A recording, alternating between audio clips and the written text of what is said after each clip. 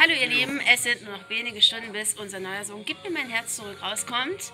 Ich hoffe, ihr habt alle schön eure Stiefelchen geputzt. Und wenn nein, kein Problem. Theo, Theo mag sie auch. Dann ist es ganz spontan. Auf jeden Fall, unseren Song gibt es ab 12 Uhr, 6.12 Uhr zum Downloaden. Viel Spaß damit.